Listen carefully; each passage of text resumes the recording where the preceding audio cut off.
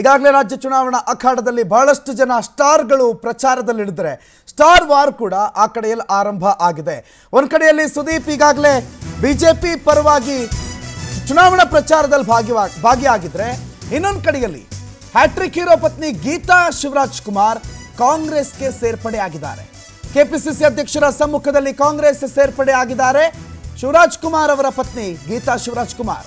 ಮಾಜಿ ಸಿಎಂ ಬಂಗಾರಪ್ಪ ಅವರ ಪುತ್ರಿ ಕೂಡ ಗೀತಾ ಶಿವರಾಜ್ ಕುಮಾರ್, ಮಧು ಬಂಗಾರಪ್ಪ ಅವರ ಪರವಾಗಿ ಪ್ರಚಾರವನ್ನು ನಡೆಸ್ತಾರೆ.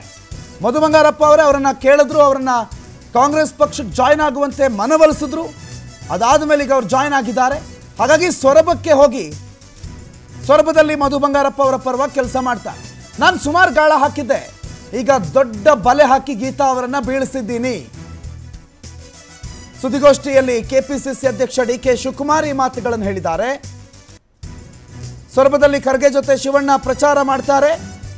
ನಾಳೆ ಸೊರಬಗೆ ಗೀತಾ ಶಿವರಾಜ್ ಕುಮಾರ್ ಅವರು ಕೂಡ ಪ್ರಚಾರಕ್ಕೆ ಹೋಗ್ತಾರೆ.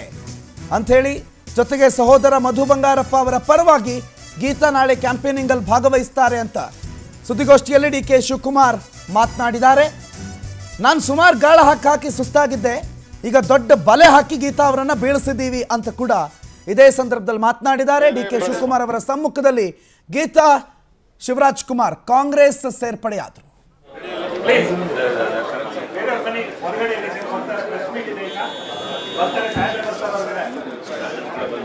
ಬನ್ನಿ ಬೇರೆಯವ್ರು ಬನ್ನಿ ಸರ್ ನಿಂತ್ಕೋಬೇಡಿ ಈ ಕಡೆ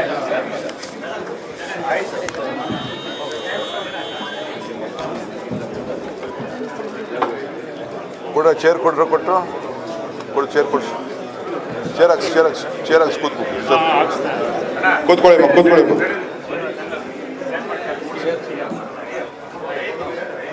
ಗೀತಾ ಶಿವರಾಜ್ ಕುಮಾರ್ ಅವರ ಜಾಯ್ನಿಂಗ್ ಅಧಿಕೃತ ಕಾಂಗ್ರೆಸ್ ಸೇರ್ಪಡೆ ನಡೀತಾ ಇದೆ.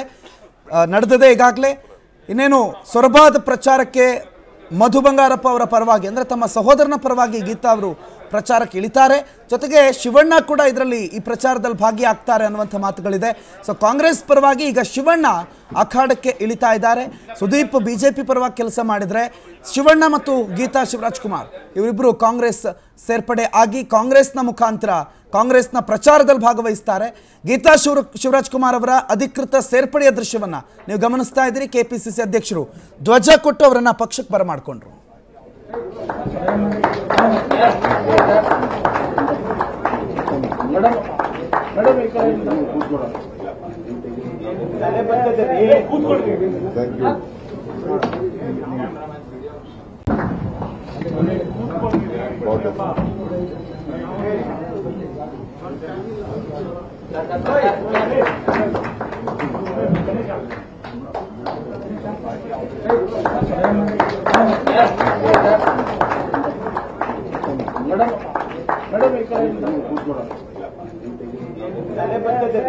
ಓಕೆ ಥ್ಯಾಂಕ್ ಯು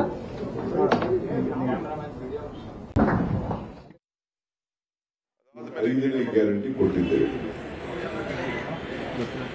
ಐದು ಬೆರಳಲ್ಲಿ ನಾಲ್ಕು ಬೆರಳಿತ್ತು ಕೊನೆಯ ಬೆರಳು ಕೊನೆ ಗ್ಯಾರಂಟಿ ಮ್ಯಾನಿಫೆಸ್ಟೋನು ಬರ್ತದೆ ಬೇರೆ ವಿಚಾರ ಐದು ಪ್ರಮುಖವಾದಂಥ ಗ್ಯಾರಂಟಿನ ಇವತ್ತು ನಾವು ಎಲ್ಲ ವರ್ಗದ ಜನರಿಗೆ ಅನುಕೂಲ ಆಗಬೇಕು ಅಂತೇಳಿ ನಿನ್ನೆ ರಾಹುಲ್ ಗಾಂಧಿ ಅವರು ಮಂಗಳೂರಿನಲ್ಲಿ ಅನೌನ್ಸ್ಮೆಂಟ್ ಮಾಡಿದ್ದಾರೆ. ಪ್ರೈಮ್ ಮಿನಿಸ್ಟರ್ ವರ್ಚುವಲ್ ಮೀಟಿಂಗ್ ಅನ್ನು ಮಾಡಿದ್ದಾರೆ.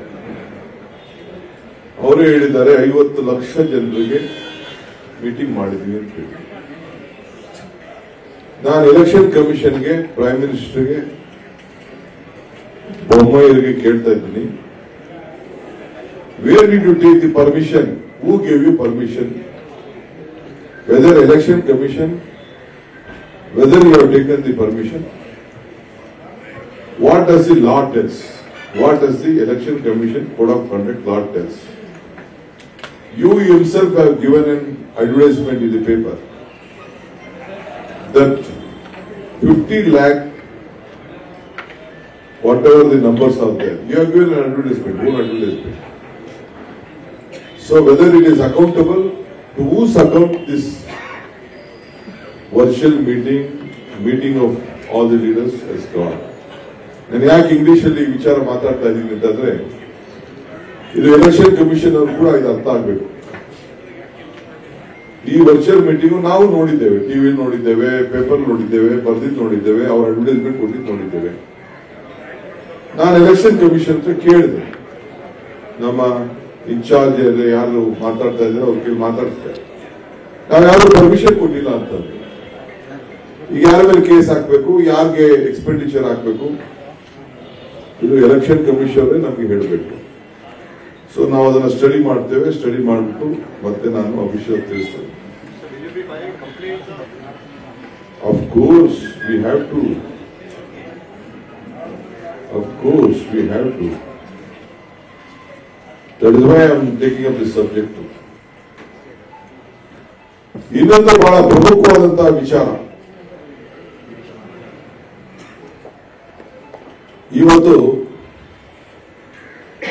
ಈ ದೇಶಕ್ಕೆ ಅಬ್ದುಲ್ ಕಲಾಂ ರವರು ಎಲ್ಲ ನಾಯಕರುಗಳು ಈ ದೇಶದ ಎಲ್ಲ ಯು ಪಿ ಎ ಒನ್ನಲ್ಲಿ ಎಲ್ಲ ಪಕ್ಷದ ಮುಖಂಡರುಗಳು, ಸಂಸತ್ ಸದಸ್ಯರು, ಶ್ರೀಮತಿ ಸೋನಿಯಾ ಗಾಂಧಿ ಅವರಿಗೆ ಈ ದೇಶದ ಪ್ರಧಾನಮಂತ್ರಿ ಸ್ಥಾನ ತೆಗೆದುಕೊಡಮ್ಮ ಅಂತ ಹೇಳಿ ಪತ್ರವನ್ನು ಕೊಟ್ಟರು. ಆ ಪತ್ರವನ್ನ ಕೊಟ್ಟಾಗ ಅಬ್ದುಲ್ ಕಲಾಂ ಅವರು ಶ್ರೀಮತಿ ಸೋನಿಯಾ ಗಾಂಧಿ ಅವರಿಗೆ. ಈ ದೇಶದ ಪ್ರಧಾನಮಂತ್ರಿ ಸ್ಥಾನನ ಬಂದು ಸ್ವೀಕಾರ ಮಾಡಿ, ನಾನು ಓದ್ಕೊಡ್ಲಿಕ್ಕೆ ನನಗೆ ಎಲ್ಲ ತರದ ನಂಬರ್ಸ್ ಸಮಾಧಾನ ಆಗಿದೆ. I been satisfied with the numbers whatever the parliament members have given madam Shrimati Sonia ji you please come and take vote as a prime minister of this country ಅಂತ ಹೇಳಿ ಅವರು ಆಹ್ವಾನವನ್ನು ಕೊಟ್ಟರು. ಯಾರು ನಮ್ಮ ಸೋನಿಯಾ ಗಾಂಧಿ ನಾನು ಕಂಡಂತ ಒಬ್ಬ ಭಾರತದ